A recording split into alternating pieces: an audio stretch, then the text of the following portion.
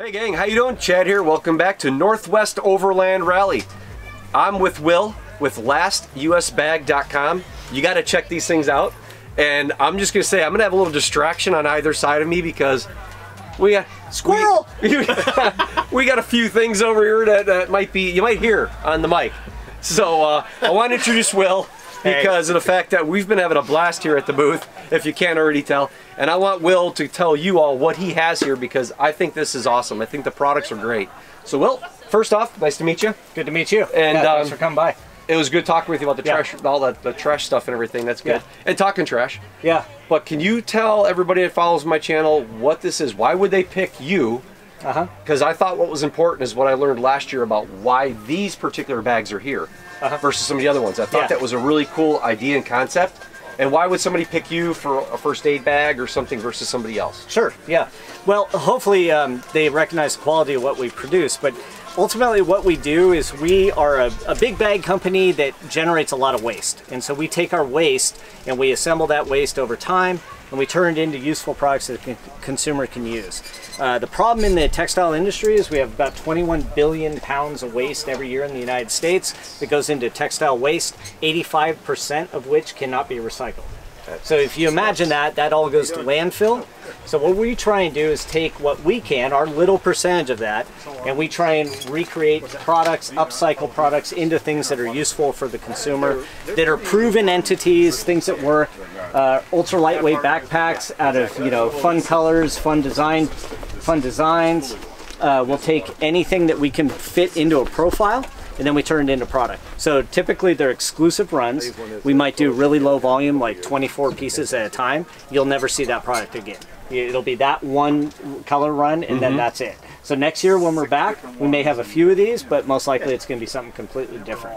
And that's typically the way we produce all this product that we do uh, for the overland market, for outdoor recreation, all of that. So, so this is actually remnants remnants. from yeah. big products that you make correct. that you still turn into something good. Yeah. So what it's... happens is when you build a big run of products a lot of times you'll end up with like a four yard or, or six yard end roll right and these yep. little end rolls have dye lot variances across you know many different production runs being colors uh, yes, a correct. variation of colors correct. dye lots for folks yeah. that might not know that yeah so you can't really go produce another run of bags out of it because you'll have a calico cat you know, it'll be all yeah. different colors. Be and yellow, but two different slight correct. shades of yellow. Yeah, yeah, the funny thing is people think black is black, but it is not. You know, because when we produce black bags, they've got to come off the same dye lot or else they don't work. Exactly. So yep. what we do is we, we collect those over time and then we figure out what kind of yield we can get out and what we can build out of that.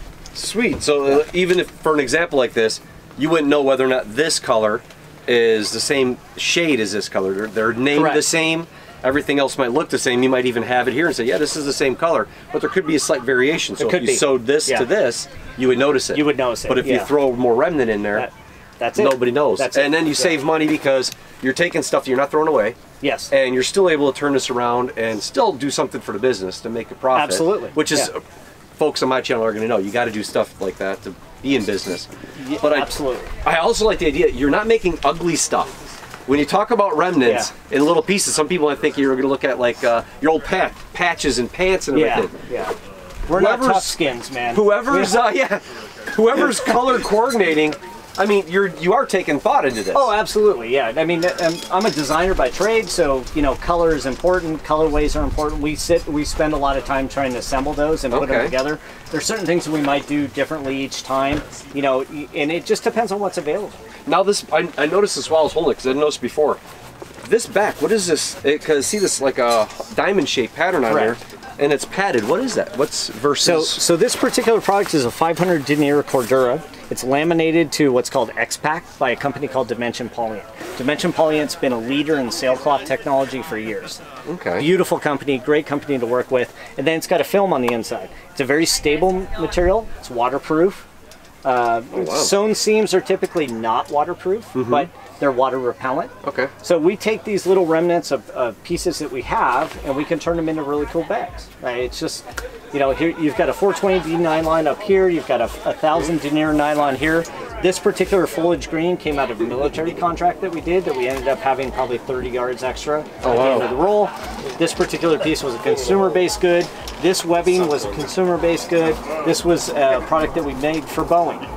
Oh, So, really? Yeah, so these are all just came from all different walks of life, so to speak, in our production cycle, and that's how we developed it. And it's nice, even for being a remnant bag, you guys still take the time to. There's inside pockets, and we'll do uh, some footage on this later. But the thought again that goes in, it's just that, hey, we just sew up a bunch here, take a bag. There's actually storage Yeah. options, and even with the straps, Yeah. you take a little bit effort. You know, you're you're you're folding this over and you're running an edge, not just having a, Yeah. like a regular folded fray or something of this material. What's Yeah. called? A uh, um, It's a binding. a binding stitch. Yeah, I mean so- that's cool. That's So uh, a lot of this comes from what I use, right? So you know, I, I may be thinking about it. So in my roll top backpack over here, my roll top was designed for my winter travel on my bike, okay. right? Because I want something that was pretty much waterproof. I could put my laptop in, I could put all my clothing in that I'm going to change into when I get to work. Because I, I do commute on my bike sometimes to work. This is my summer bag. This will still hold a 13-inch MacBook Pro, which I take to work every oh, day. Oh, really? Okay. Yeah, so I can slide that in, or I can put hydration in. Oh, that is slick. Yeah, so Put just this back up there. It- here's here's something that you know makes a lot of sense to me. This is a dopp kit or a toiletry kit, or it could be whatever you want. But whenever you go to a hotel, you think about like putting your toothbrush down on the counter mm-hmm. inside the in the bathroom. Yeah, That's I, gross. I try right? to stand it up with whatever I can. Bingo. I don't so like I that. built this little slot so you slide your toothbrush down in there and it keeps the brushes off of the counter. So I got all, yeah, so I got all my. I got all my stuff in there, which weights it down, and then my toothbrush is always standing up. It's the little things. Yeah. It's well, I don't want fecal matter on my toothbrush. Yeah, no, that'd be kind Yeah. of a bad thing. Yeah, it's a, bad. Yeah, Yeah. yeah, it can Yeah. kind of. Ollie likes that, but I don't. Yeah, it's kind of.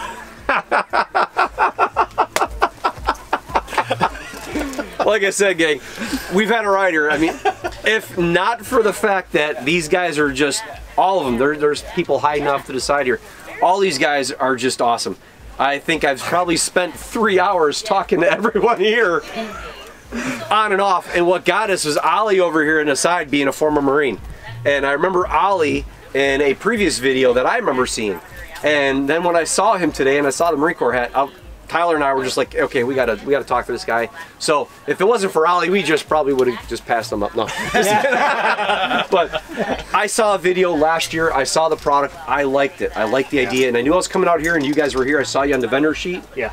And I was looking for some specific things like we were talking about, so I wanted to come here first. I haven't been to any of the other people because I wanted to come here because of what you just told us and what you told them. Yeah, I appreciate it. And so, gang, if it's not for, if you're looking for big product or like the big brand name companies, all this other stuff, stop and think about when you're looking to buy my knives, there's a reason why you're buying my knives. So I don't have to hash over that again. Think about that same thing when it comes to Will's company here and what they're doing and what he said about the product and the waste and everything else. Put that, really think about that because that is cool. And it's a small business. Yeah. You're not, Yeah. you know, marketed through all the United No. States with shops everywhere else and everything else. You're out of Oregon, right? Oh no, you're Washington. Washington, State. You're Washington not. State. Oh, we were talking about Vancouver, uh, Washington. Yeah, Vancouver, Yeah. Washington. We were talking about Oregon before. See, Ollie can be a distraction, folks. No, it's okay. I'm Va- telling you. Vancouver is basically Portland's Canada. There, there we go. well, with that, guys, thank you very much. Remember, like, share, subscribe, all the good stuff. Keep me from the bottom of YouTube bucket. Website, LastUSBag.com social media. at LastUSBag. There we go. You guys have a good one. While Tyler laughs in the background. Thanks, brother.